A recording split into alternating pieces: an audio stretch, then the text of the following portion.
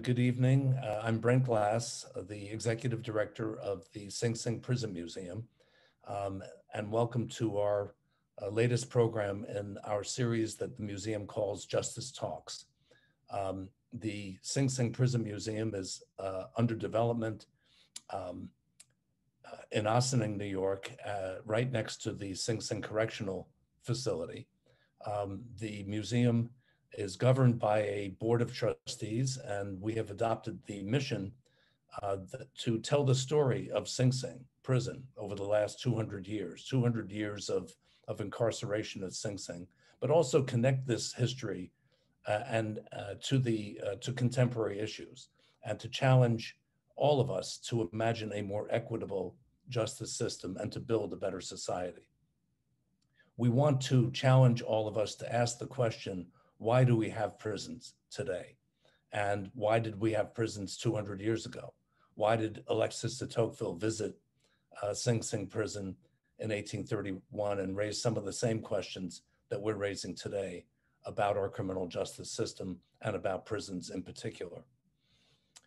The uh, Justice Talks programs uh, are inspired by this mission and were developed by one of our trustees, Sam North, who is a faculty member at uh, Ossining High School and also a, a member uh, of the board uh, at uh, Peekskill School Board. Um, Sam North um, developed this program as our senior producer, along with two of our wonderful staff members, uh, Victoria Gonzalez and Nicole Hamilton, who are producing tonight's program the Justice Talks uh, programs have covered a wide range of, of topics, including policing, uh, the impact of COVID uh, on prisons, uh, wrongful convictions, solitary confinement, uh, family reunions, um, and also uh, capital punishment. We've also had po poetry readings, um, a Black History program, and a program on the, on the women's prison uh, at Sing Sing, which existed uh, in uh, the 19th century. Tonight's program concerns the Attica prison uprising of September 1971. We will observe the 50th anniversary of that, of that event later this year. And we have a very interesting panel to help us understand the causes and the consequences of the Attica uh, prison uprising, and also uh, make the connection between that history, that event, and some of our um, uh, concerns about uh, incarceration uh, and criminal justice today. Our panel, our panelists are Heather Ann Thompson, who is the author of the definitive work on the Attica uprising, and her book, Blood in the Water, which was published in 2016, uh, the Attica Prison Uprising of uh, 1971 and its aftermath. This book won the Pulitzer Prize, won several uh, awards for uh, an extraordinary amount of, of research and also uh, bringing this, this story together, not only the, the events of September 1971, but also the aftermath, the investigations and the lack of investigations that occurred uh, over the last uh, 50 years. Heather Ann Thompson is a historian at the University of Michigan. She is very much involved in a number of, of projects concerning uh, criminal justice uh, research today. She is um, uh, she serves as an advisor to the widely acclaimed um, States of Incarceration Project, as well as an advisor to the Ford Foundation's Art for Justice Fund, and is a co-founder of the Carceral State Project, with, with its um, documenting criminalization and confinement research initiative at the University of Michigan. Uh, our two other panelists were eyewitnesses to history. They were eyewitnesses to the events at Attica Prison in 1971. Tyrone Larkins uh, had his first, has had first person experience with the criminal justice system in New York. Larkins entered Sing Sing prison in June 1970. He was later transferred to Attica Correctional Facility in January 1970 where he, where he survived the uprising in September 1971. He acquired a college education at Marist College um, uh, while incarcerated at Greenhaven Correctional Facility. He was released via parole in 1997 after serving 29 years in prison. Our other panelist is David Rothenberg, the founder of the Fortune Society, one of the nation's leading reentry service organizations, serving nearly, nearly 7,000 people uh, annually. He is also a uh, leading advocate for criminal justice reform and alternatives to incarceration. David Rothenberg uh, was a member of the Attica Observers Committee during the uprising in September 1971. So we will start our program with uh, Heather Ann Thompson giving us some uh, historical context to the uprising. I'm so I'm so glad to be here, and I'm I'm particularly glad to be here sharing this event with uh, folks that were actually at Attica. I think that that is particularly fitting, and I will do my best to introduce the importance of this event, but um, but then forthwith turn it over to the folks that were there and they can share with you why this event is so important. Um, primarily, we are here because it's 50 years since essentially nearly 1,300 men stood up for fundamental and basic human rights behind bars. And here it is 50 years later, and we are still uh, in a situation in America's correctional facilities where those fundamental and basic human rights do not exist. So we have this opportunity to talk about why that is.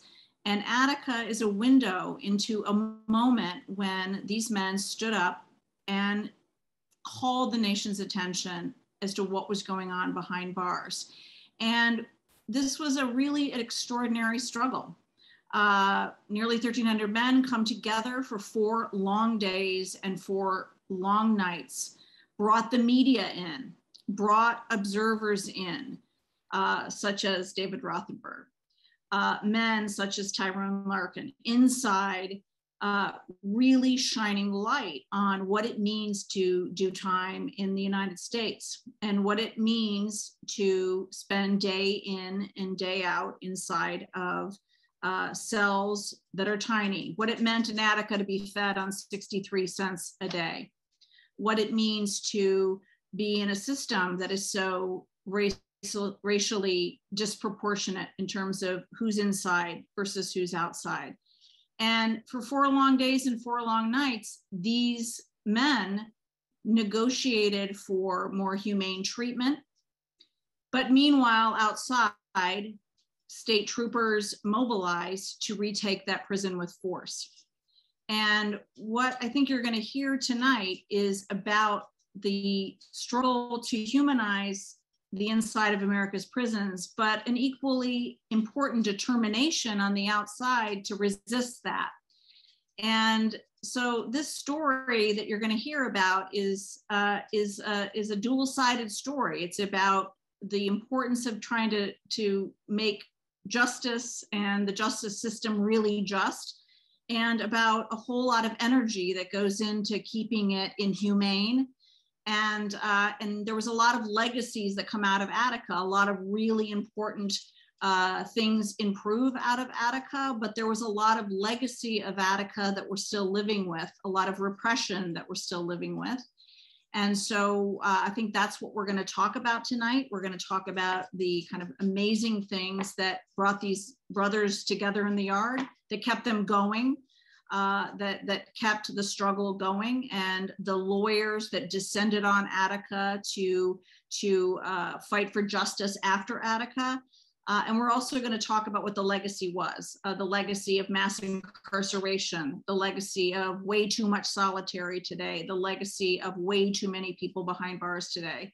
Um, and we're going to talk about the fact that even today, uh, the records on what happened at Attica remain closed, uh, that we still need these records open, that we still need uh, a measure of justice done for the atrocities that were carried out at Attica after uh, the brothers stood up for basic human rights. And, uh, and we need to talk about the fact that today in prisons across this nation, there's a whole, whole lot of people still suffering. Uh, so we still need uh, the legacy of what the brothers stood up for 50 years ago addressed, uh, even this many years later. And so I think we have a lot to talk about today and um, and Attica at 50 years is the perfect opportunity to revisit all of these things. The the Attica brothers gave us a, a, a high bar uh, and, and and a lot to be grateful for and a lot to still talk about and still uh, still move forward on.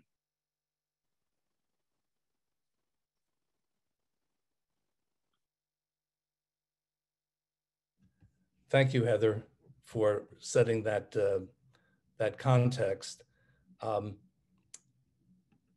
the uh, question that I maybe I'll, I'll lead off, but I'd like you uh, to join in in the questions questioning as well.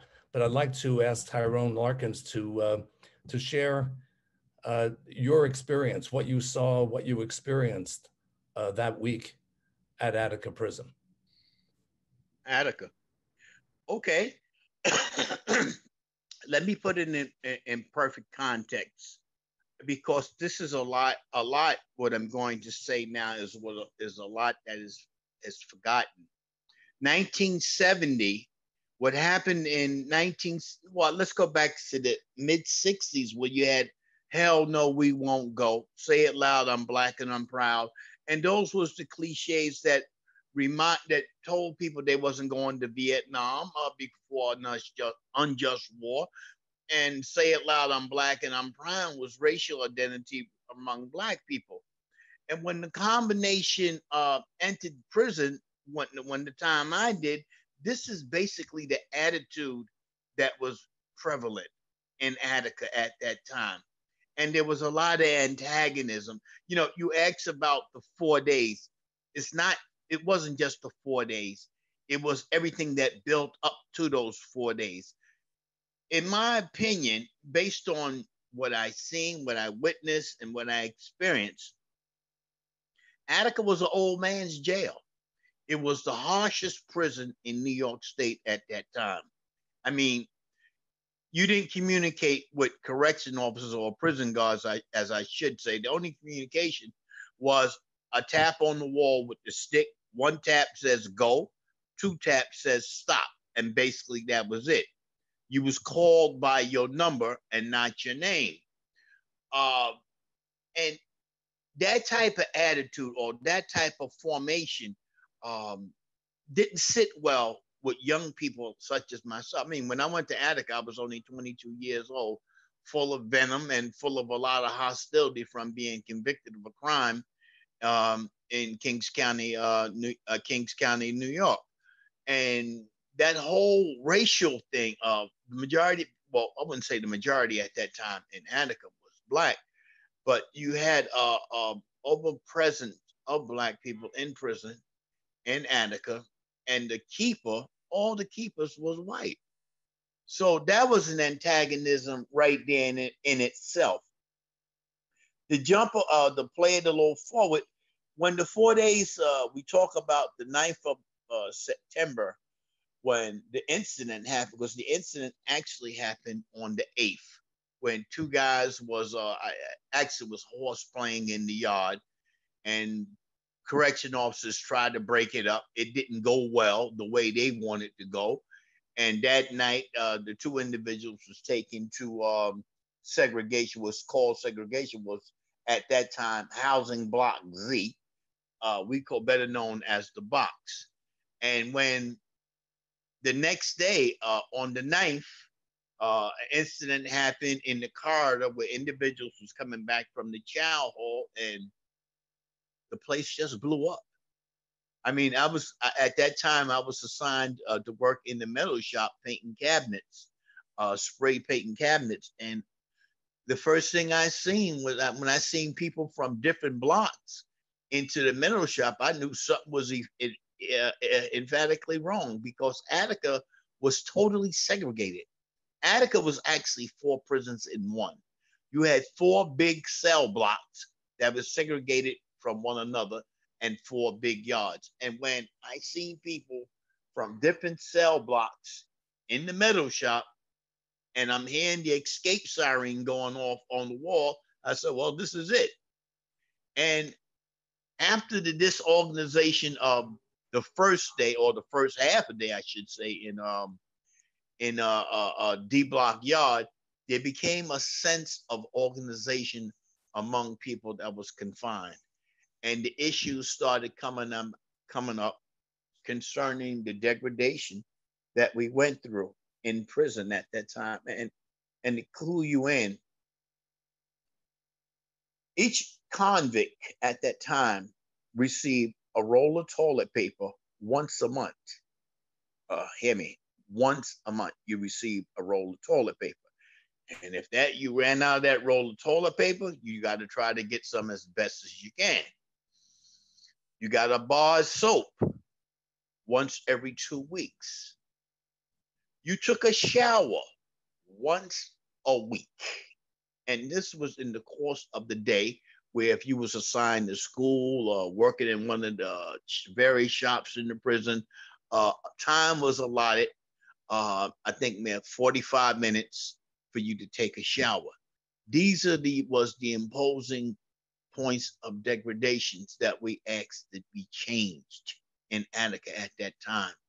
Um, a lot of other things was prevalent in terms of um, of having uh, educational opportunities, uh, putting providing better food, providing a little more uh, money for people that worked in the prison or as well as went to school, and to a large extent, uh, putting some type of programming into prison where a person can actually change itself, change themselves, and uh, none of these factors was there.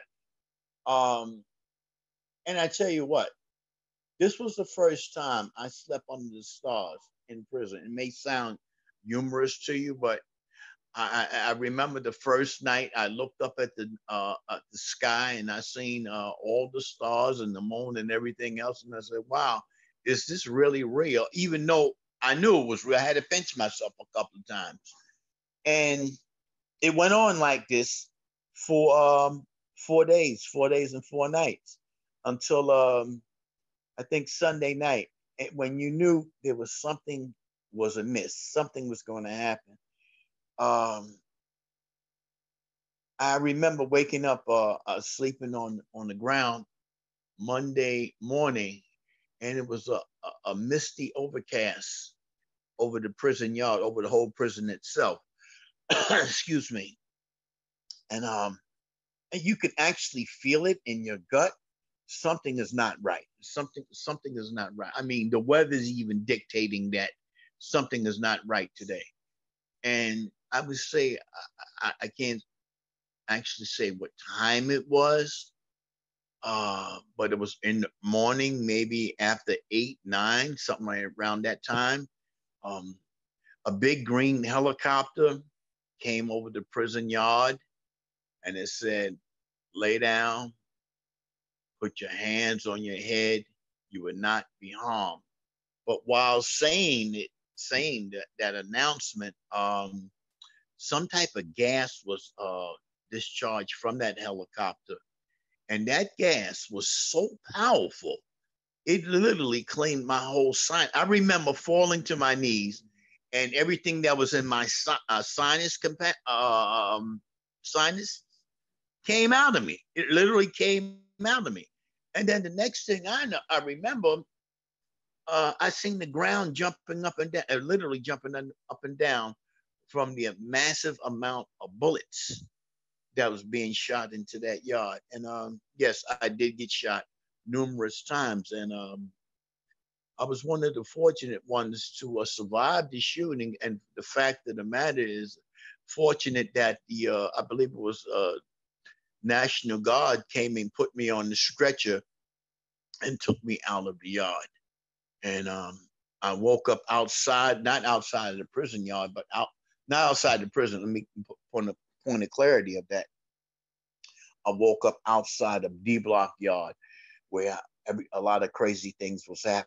But where we was located at, um, right next to the hospital or outside the hospital, I seen a string of men who was um, naked and being ushered to uh, housing block Z, and they was being beaten by sticks and everything, and that literally made me fall out again. I just fell out, and um, that's what happened uh, in terms of um, uh, the 9th of September 1971 to uh, the 13th of September 1971. Wow. Well, and I and I was just going to jump in. I know that David will jump in here too, but I will just say that to add to Tyrone's testimony here, that what people need to understand is that when those troopers came in, that negotiations were in full swing. That that the that there was 28 demands that had been agreed to. That that this thing could have been ended peacefully, and not only that, that when the state troopers came in, that they came in, we now know, we now know 45 years later, we found out that they deliberately did not give an ultimatum to those men inside that yard. That they deliberately did not give an ultimatum because they didn't want there to be a warning that, that, that there was that these men when that gas was dropped that it that it felled them that people were vomiting they were blinded they were incapacitated when those guys came in with those guns blazing. And some men were shot as tyrone was saying six seven times and then stripped naked and then beaten. And and, and so this is at a time when negotiations are going on, when people inside are basically saying, do not come in with force because it's going to be a massacre. People like David Rothenberg. And, and so, David, you should come in. And as an observer of all this, you saw this firsthand. Yeah. And Heather, two of the, I, I don't know how many, but I know of two of the men uh, were shot after they took over. Uh, L.D. Barkley and uh, Sam Melville uh, were killed by the uh, troopers after they had taken over the institution. I um, I had always, well, you know, a- after Attica, after those four days, those of us that were on the Attica observers, we started meeting weekly at, at uh, Attorney Bill Kunstler's house. He was one of the people there to try to assess what happened. And I came to the conclusion, I think most of us did. There was Congressman Badillo and Tom Wicker of the New York Times, Clarence Jones of the Amsterdam News and State Senator Robert Garcia. The feeling was that, and uh, Herman Badillo had made a plea to Governor Rockefeller, give us more time, and that's Wicker's book, A Time to, There's Always a Time to Die, is that Nelson Rockefeller made a calculated political choice, that he was perceived as an Eastern liberal, he had aspirations of being a Republican nomination, nominee for president, and that the choices were political but I'm, I'm, I'm getting too far away. I, I, I, I want to give some indication or some telling of how I got there, which is kind of curious. I was probably the least likely person to ever end up in Attica during an uh, uprising. I had produced a prison drama in 1967. On, I was a theater person.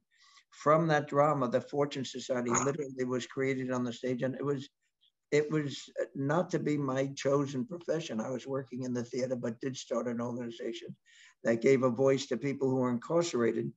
And we had a little scratchy news, newsletter that was mimeographed.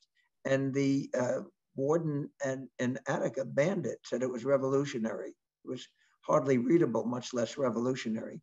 And we got a lawyer, a, a, actually a, a, law student at Columbia named Stephen Chestakowski, brought it to federal court and we won. And as a result of that, two of the men who turned out to be leaders in the Adam, in the Attica uprising, Roger Champen and Herbert X. Blyden, began a very intense conversation, a conversation, a correspondence with me.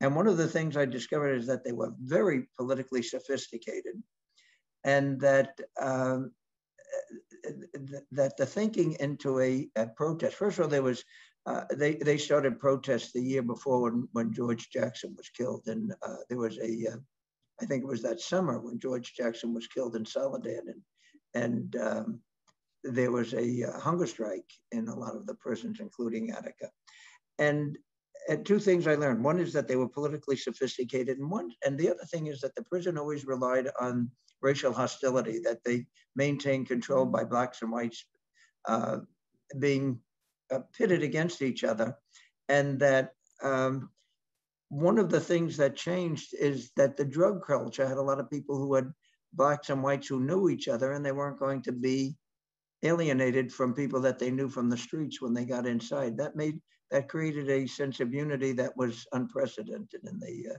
in the correction system around the state. Um, but when I got the call from Arthur Eve, would I come up to Attica when we, you know we heard the news that and they were looking for observers, I was rather startled. But and I said I wasn't going to go alone. And two of the men who had from Fortune, Kenny Jackson and Mel Rivers, went with me. They had both formerly incarcerated men.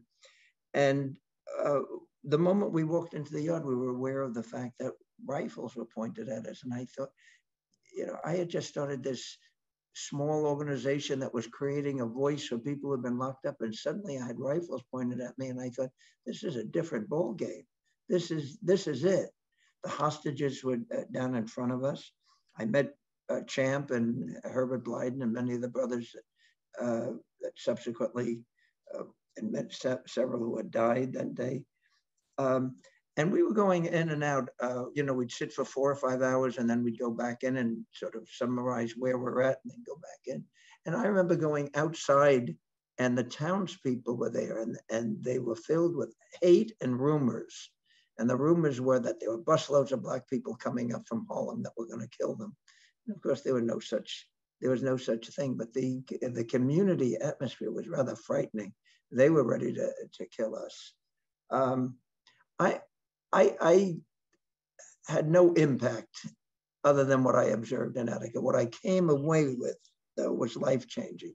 The fact that human lives were seen as so expendable, that uh, the men there were seen as political pawns, and what seemed the decisions that were being made from Albany had nothing to do with what was going on in Attica.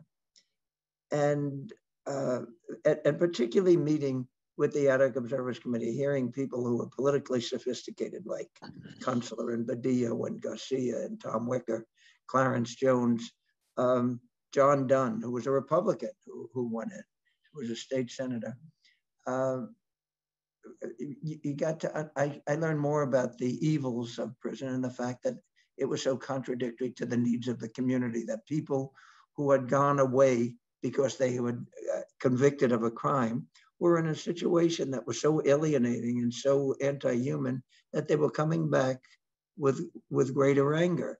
It seemed like it's such an exercise in futility that the prison system is really, uh, uh, in my eyes, and I was that's what Attica did to me, made me realize that it was a um, a contributor to violence and and alienations in the community because people came out uh, so angry and so unprepared for re-entering into society because as Tyrone pointed out, no programs, um, and, and uh, education limited. So you go in with limitations and a crime and you come out uh, looking at a society that has allowed this to happen to you. And so uh, I think Attica sort of epitomized the whole futility and the evilness that's basic in our prison system. David, a um, couple of questions um, just to follow up with both you and Tyrone. First of all, um, were there were there any women on the uh, observers committee? No, no, no, not at all. Okay, um, and and the number of people who were who died at Attica can we just establish that, uh, that fact? Heather, do you have that or do um, David or you and Tyrone know? I didn't get the question, uh, Brent.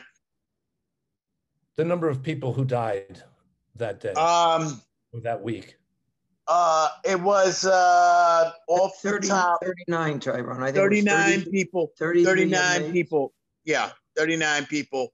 And, and I believe it was uh, 39 people, inclusive of that, was 10 uh, uh, correctional employees. And then there was that significant thing where the state and the Department of Correction announced that the guards had their throats slashed by the inmates, the guards that were held hostage.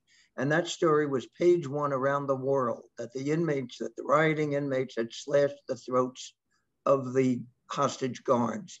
And the next day, this quiet little coroner in Wyoming County said, no, they weren't. They were all killed by state bullets that went in their back.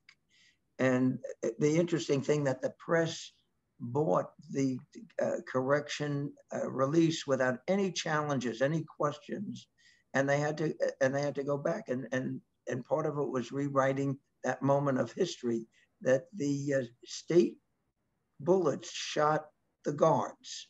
Mm-hmm. And a lot mm-hmm. of the lawsuits, of course, subsequently came from the families of the guards that were killed by the state.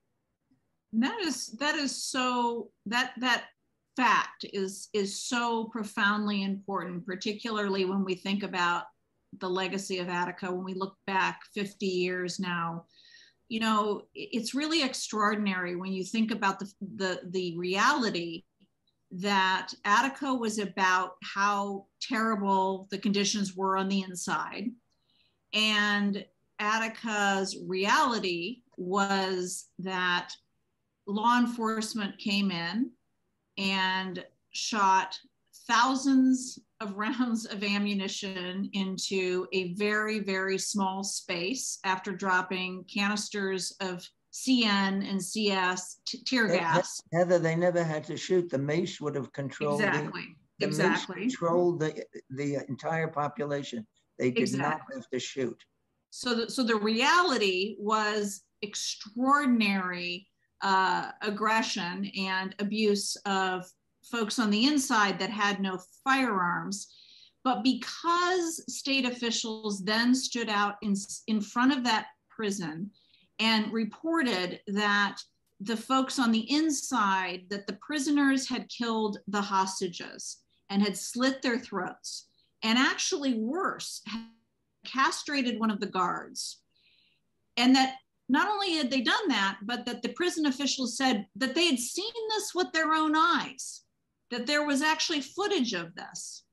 And because no reporter chose to corroborate this, because it just kind of fit their racial imaginary, this story went out, as David says, on the front page of the New York Times, the front page of the Los Angeles Times, the front page of countless small town newspapers because it went out on the AP Newswire.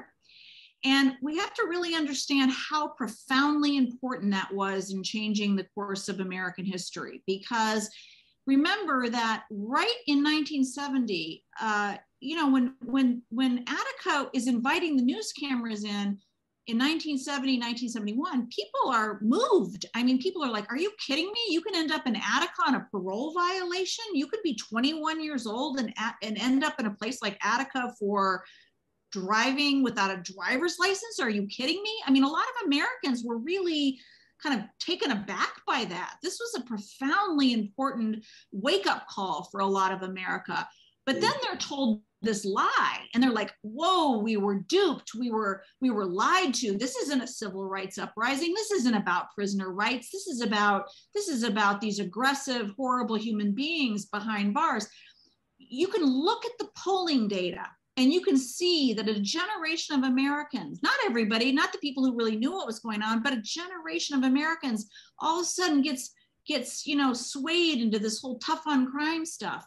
And if you look at the mass incarceration rates, if you look at the graph of mass incarceration, it's not that those numbers just go up anytime. Those numbers skyrocket right after Attica. And I'm not saying Attica has everything to do with it, but I'm telling you, it's the lies told about Attica. It's the lies told about what happened at Kent State. It's the lies told about what happened in Chicago of 68. It's an extraordinary thing that in the 1960s, the preponderance of the violence is law enforcement actual violence, right? The shootings, the, and yet somehow, if you look at the headlines, who's violent? The prisoners are violent, the students are violent, the hippies are violent, the women are violent, the women's movement's violent, everybody. But so this lie matter actually. This, and what, this lie mattered a lot. What was significant is that you know Rockefeller's role. Some one of the somebody about him was it political. Right after this came the Rockefeller drug law in New yes. York, and Yeah. emulated around the country, which which is part of what escalated the prison population. And it was selectively used on Black and Hispanic uh, right. people. And we could we could watch whatever young Black males what drug was in was being heralded as the most frightening thing that was that was happening on the streets. And the white kids at the same time, as they should have been, were going into treatment centers, but the black kids were going to jail. And we Yeah. we we were witness to that. And that, that know- all came out of Attica. I, I just I just want to interject because it, uh, two particular points that that was prevalent on the 14th, I believe the 14th or 15th of September 1971. I was in the hospital in Attica. Uh, I went to Meyer Memorial Hospital for a day uh, in Buffalo, and I was brought right back to uh, Attica Hospital. Doctors, I should say, did a fantastic job on me. And I remember laying up in my hospital bed with uh, bandaged all up. And there was a lot of people coming through. A lot of politicians was coming through, and it was coming by talking. That's how you feel. I was real little reluctant to talk to anybody. But what got me on that day, this one particular day, on the 15th of September, I'll never forget it. There was a prison guard that came into the ward, and he was calling his colleague, and he was shaking and I believe he had a copy of um, the Buffalo uh, Buffalo Evening Post. I don't know if I'm correct on the name. And he said, "Jesus, listen, the coroner from Rock from Rochester is saying that none of the guys, none of the guys. I I remember distinctly what he said. None of the guys had their throat slit. They was all shot." And I seen the reaction of the keeper. And I said, Wow, you shot your own. I remember saying that to him. You shot your own, you know, and they were shaking. Tyron, there was another thing that was happening. I don't, I don't know if this is generally known. The state was not telling families, uh, the, the loved ones of inmates were trying to find out who was alive, who was dead, Yeah. and they couldn't find it. And, and we finally got that information. I don't know who got it to us. And we at Fortune Society, we were calling the families to let them know who's safe, who's dead. It was, a horrible experience having to tell people that their love, that their son or their brother was dead. But the state wouldn't even give the families the, the dignity of knowing the status of, of what happened, whether there's somebody who's alive or dead or wounded and where they were. It was, and I remember we've talked to people that were involved on the phones those days. We've talked about that for years, that it was such an emotional trauma to have, the, and that the state abandoned their responsibility in sharing. It's a, I, I share that only because uh, having witnessed that, I realized that it, it's not generally known. It was just one more. It's an asterisk in the evilness of that whole that whole era. You know, it is important. I do want to, before we do run out of time, I do want to mention though, um, that, that amidst all of this, and I know that Ter- Tyrone and David will appreciate this as well, that despite all that evil, um, there was from the from the very minute this happened, there were people all across this country that that didn't accept this and and stepped up and, and just showed up at at on the doorstep of Attica in droves. And I know that you all can talk about that too, because that's a really important part of this story, which is the legacy of that resistance to this. You know, even though the state of New York refused to ever indict troopers for anything that went down at Attica, and even though they went after uh, prisoners, and that had a terrible legacy, right? Because it sent this message that everything that went wrong at Attica was never about law enforcement. But at the same time, there was this is a story about the most extraordinary legal defense effort in American history. I really believe that. I mean, you're talking about more people showed up and brothers defended themselves in court. Young lawyers, young law students showed up from every small town and city. job.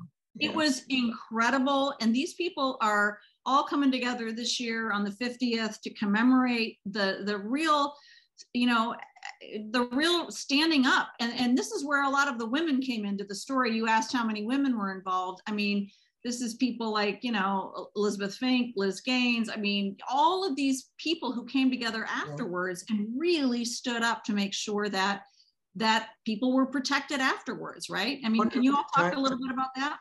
I wonder if Tyrone knew that um, shortly afterwards that there was a candlelight march that started in the village and went up to Harlem. It was the burial of four unclaimed bodies, and yeah. hundreds and hundreds of people, Uh, maybe thousands, marched by candlelight. It was one of the most dramatic things I've seen, and that's reflecting on what you said, Heather, about that people did come together, and they and they saw the humanity. The other thing is that some of the people that were in Attica, that when they came out, were incredible human beings. People like Herbert X. Blyden and Joe Little did, and I, I mean, there are so many who did such extraordinary things. They, they were great men, and uh, they and who knows about those that were killed, what they what they could have contributed when they came out. You know, we, we have um, a number of questions are coming in, but I do want to. Um, I, I always like to say that history is a resource for understanding our own times do you think Attica and, and Heather has talked about this a little bit already, but which where we, which direction are we going in? Are we going in the direction that that can contribute to a, a similar uprising in the future, or are we moving in a in a different direction as a as a society, as uh, or in New York State, even just to talk to New, about New York State? But I know Heather, you're looking at at national. Can I can I expand on that to a certain yeah, please, extent? Sharon. Yes. Brent, can I expand? And you know what? Don't limit it. Don't limit it to the prison. Don't do that. We make mistakes by doing that. And and and and, and I get somewhat paranoid about that. And and the reason why I said that, the reason why I say that, because um, in uh, 50 years ago, 50 years ago, I was called an insurrectionist. I was called a rebel. And, yes, I'll admit I was a Black Panther. And I have no problem saying it today, 50 years later. Oh, what about those guys that was on the Capitol steps in January? What about those guys? What about those guys? Hmm. Those was insurrectionists. And as a matter of fact, they killed a few people down there. Yeah. See, so let's talk about the balancing. Let's talk about the real balancing. Unfortunately, I did 29 years in prison. I seen uh, the metamorphosis. When I came to prison, there was 11,000 people in New York State locked up. 11,000. Mm. When I left prison, there was close to 80,000 people locked up. And the majority of them looked just like me. Why did that happen? Prison became an industrial complex for people that could not get work in the urban in the in the rural sections of, of New York State. And that's something that people do not want to admit to. That whole Rockefeller drug thing, that was nothing but game. Get money for people who ordinarily would not be, who would be highly unemployed. Close a prison down in one of those communities in New York State, and you have a uh, you have a rebellion on your hand from people that's out of work. We've seen it over and over again.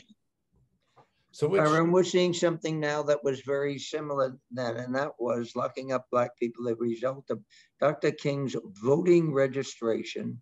Oh wow! When you go. lock up hundreds of thousands of people across the country, you are reducing their political power, and it's exactly what's being emulated today in a much more politically evil and sophisticated manner. Yes.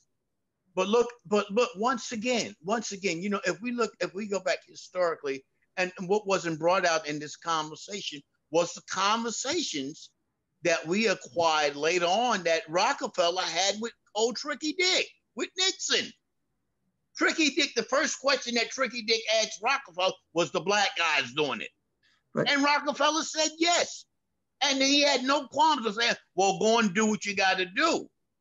And what was his reward? Becoming the vice president of the United States. So let's don't forget these that issues. was all part of it. But you know, on a, on a on a current scale, why is it, and particularly in so many of what called the red states, people who have been formerly incarcerated lose their right to vote forever. And in Florida, they had a referendum that changed it, and then the and then the state legislature uh, inserted something that said you have to pay your fine before whatever the fine was before Yeah. you right to vote.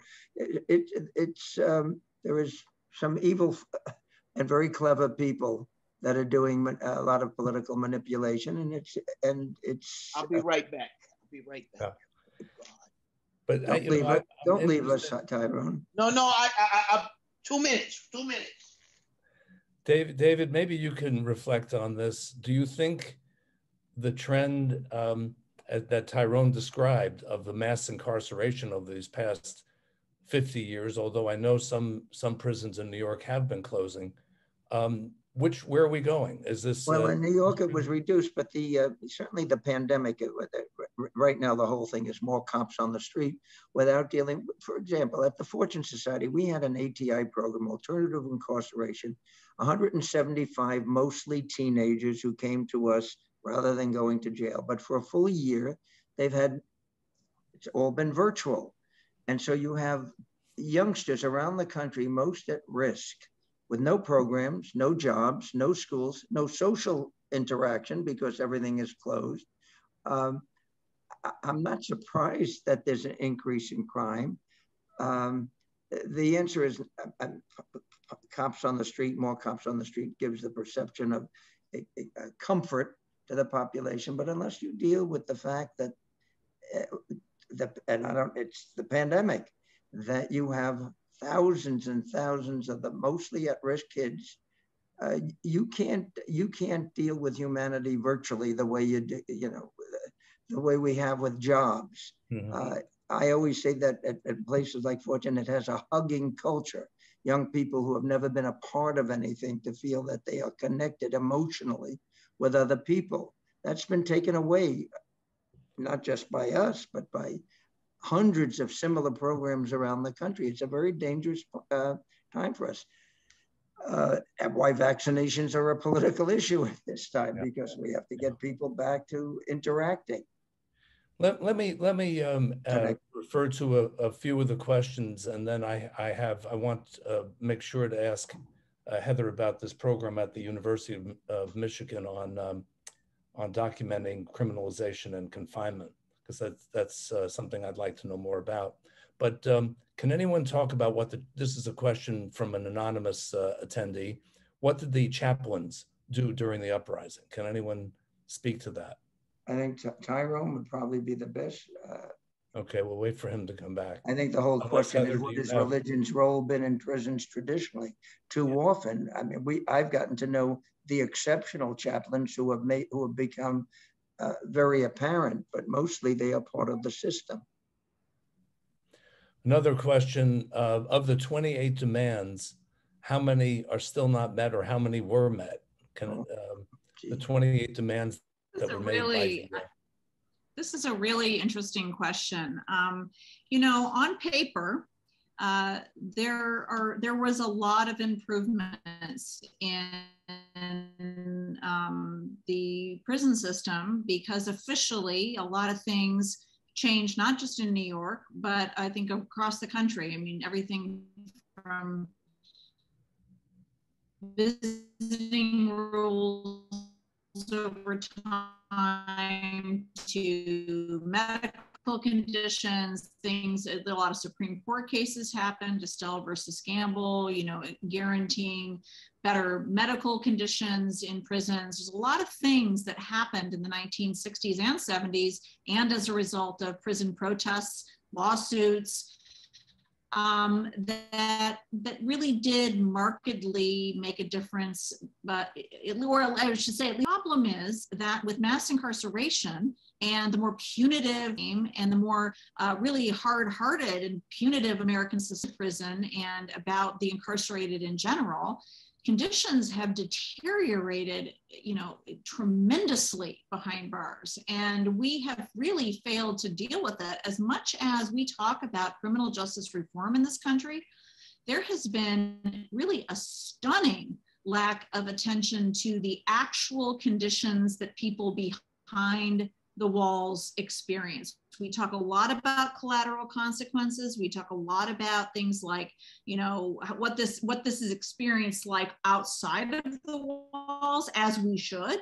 But for what it actually looks like inside, how much solitary confinement people are doing, uh, what the medical conditions are really like, what the food is really, you know, how hot people's cells are, um, you know, it, just the literal conditions. It is abominable right now. And, and you know, it, it is something we have got to start talking about for all of the reasons we've talked about today, which is that if, if you want a safer society, you cannot even remotely imagine that this is the way that you accomplish it. And, and one of the things that we have to really talk about is that anyone who thinks that the system is working, of course, is really not being honest with themselves because the, people who constantly would vote for it, or even the, the, the highest level politicians who are constantly supporting it, of course, when their own children would fall afoul of the law or, you know, or, or have drug addiction problems or whatever, the absolute last place they would want their children to go would be to prison, right? I mean, you, you, the, the proof is in the pudding. Uh, the people with the highest level of resources in this country, the, the, the most control over their own lives, when they have problems when they have you know when their when their own family members fall afoul of the law it's amazing how supportive they are of things like restorative justice, uh, counseling, resources, uh, because they know it works better, right? Uh, they, in fact, are deep believers. They are deep believers in things like community, uh, you know, uh, all the things that, that in fact, uh, other countries uh, do better than we do because they don't believe actually that prisons work. They, they do know that, that they're unsafe and, and terribly run and all of those things.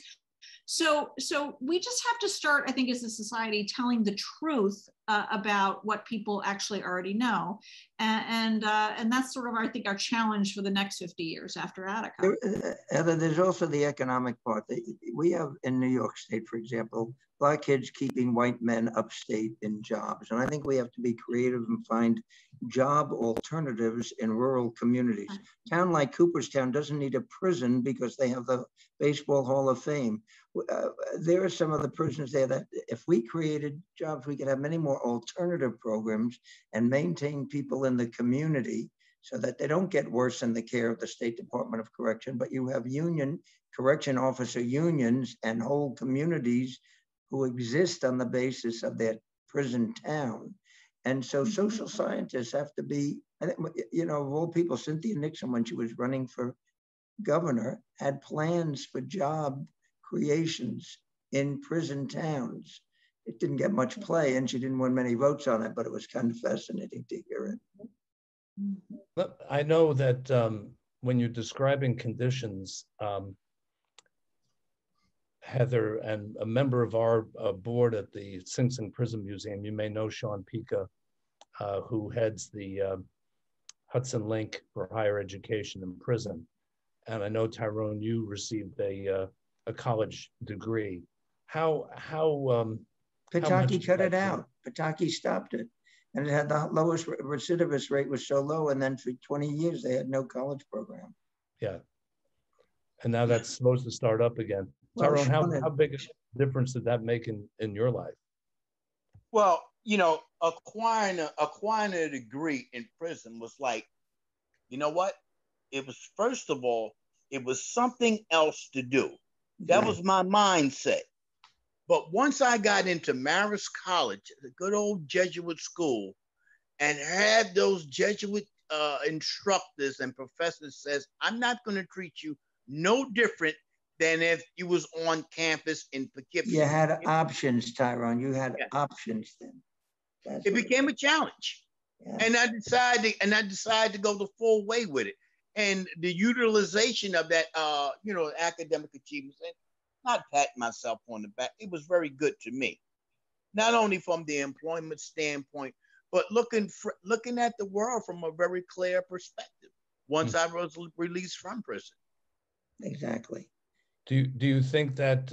Uh, oh, go ahead, David. Yeah. Well, he he had a college education and and not going back. Uh, they they need people going back. The recidivist rate keeps people employed. Uh, it, it's subtle, but it's it's lethal. It is. It is. Uh, Tyrone, while you were you were away uh, for a couple minutes, a question came in about the role of chaplains uh, during the uh, uprising. Can you talk about that at all? Any any comment? You mentioned about going to Marist College, but during the uprising. Well, during the uprising, I seen. I, I, only time I would go to church in in prison in Attica was to see somebody from a different block, a different cell. Like I said, everything was segregated, and and and the, the preacher or the pastor that was there, he was just an entity within the prison. It's not like, um, I would say the pastor or the preacher that was in Green Haven, uh, uh Ed, Ed Mueller, Mueller yeah, when I came down Ed. to Green Haven yeah. in '93. He wasn't like him. It wasn't like that guy. There. He was just a guy there that went through the humbly of everything else uh, of the church, and that was it. But it was after the fact.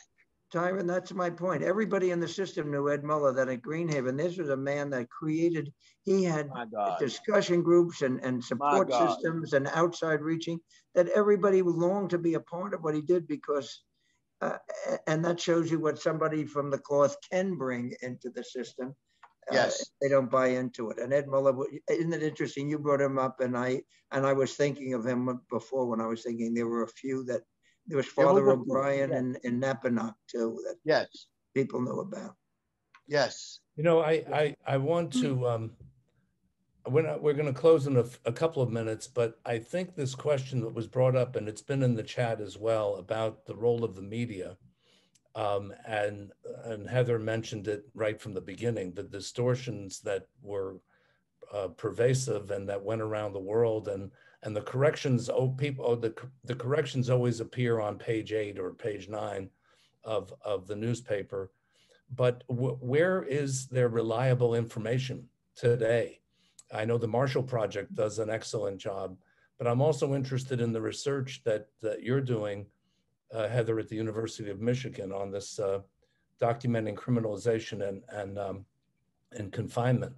Uh, i think there are some academic research projects that are worth uh, uh, knowing about?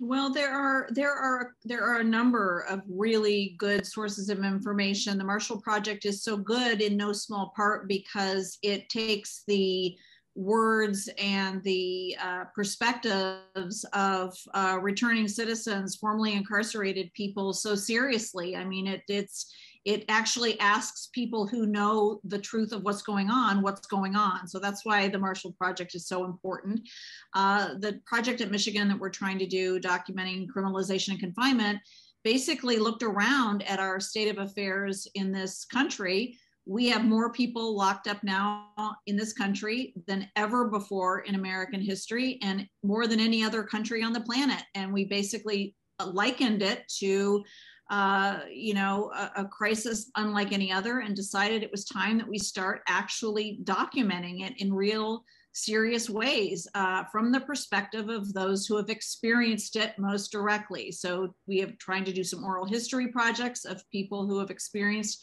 criminalization, policing, uh, incarceration from from you know every perspective. We're trying to create a massive archive because our hope is that in 100 years, people are going to look back on this and ask, what the hell happened? Try to make sense of it so that it never happens again. And right now, uh, we know that we're going to want them to hear what happened from the perspective of those who uh, suffered it most directly. So we want there to be uh, a real record of it. And um, so that's what we're trying to do. Uh, Columbia University Square One project is trying to do things. UCLA has the COVID project where they're documenting how this has ravaged prisons in real time so that there's a real record of that. Uh, there's a Texas prison project that's trying to figure out what's going on there. So there's a lot of real work going on to try to document this we can, you know, it's there if people want to look for it, but the media does play a really important role because as mm-hmm. long as we have television shows like Lock Up Raw or, uh. you know, these horrendous, you know, fuel the flames of you know prisoners or animals and you know and people don't have rights and you know and fuel the fame the, the fear mongering we lose all reality and we forget how way out of whack we are. We, you know we, we we can't lock up any more people than we are. Uh, and we just have to kind of get some balance here. And if we get you know we get confused we just have to kind of take it back to our own homes and say to ourselves if my child even if my own child killed somebody what would I want to happen, right? Uh, would I want them to take responsibility? Of course. Would I want them to somehow remedy it? Of course. But would I want them to be tortured? Would I want them to be locked away forever? Would I want them to be killed? Would I want, no, you would want something that would make the situation better. And God help you, you wouldn't want them to do it again and you wouldn't want them to be worse. So, what would make the society safer? And if you just bring it home, we can figure this thing out. Other countries have figured it out, other societies have figured it out. We can figure it out. Let's do it. You know, you know, just to just to uh, feed into that, just a, a minute. One of the things that we constantly read about, because I was in segregation for a very long time in Attica, and we read Dostoevsky, and I'm paraphrasing Dostoevsky. Um, I think he said, uh, the prison is a reflection of your society. The degree of civilization in a society can be judged by entering its prisons. There you that, go. That, and it's, it's still prevalent today what? in 2021. Well, can you I, know, um, can I thank you all for letting us have this? Um, you, you, know, it's been 50 years, and so few of the people, the Attica brothers and Attica observers, are alive. So I feel like I, I think uh, Tyrone probably feels the same way. We have a greater responsibility talking for so many people who have gone. So I appreciate the opportunity that you have given us for this. Well, we, we appreciate uh, the time you're, you're giving us to spend. And um, I am reminded of um, when you mentioned Dostoevsky, the de Tocqueville had some of the same observations when he visited uh, the United States. Um, Thomas Mott Osborne, who was the inspiration for the Osborne Association, yes. asked a question a hundred years ago: um, Are should our prisons be human repair shops or or scrap heaps? And and the whole question of why do we have prisons? And I think Heather articulated that as well. What is the purpose? What what are we? Is it is it revenge or uh, retribution, or is it reform and and rehabilitation? We have had a couple of questions just before we close about the name of the book, so I will hold it up again. Blood in the Water, the Attica Prison Uprising of, of uh, 1971 and its legacy. Heather Ann Thompson, David Rothenberg, Tyrone Larkins. I know we could keep going on and on, but you've suggested a number of really important questions. And I hope that the Sing Sing Prison Museum is going to be a very different kind of museum that will be a platform for these kind of conversations that connects our history as a resource for understanding our own times. So thanks okay. again to Thank you. Thank all. you. Brett, Brett, I'll be in contact with you sometime this week. Good. Thank, Thank you, you, all. Take care, Thanks. Tyrone and David. Thank you, Brent.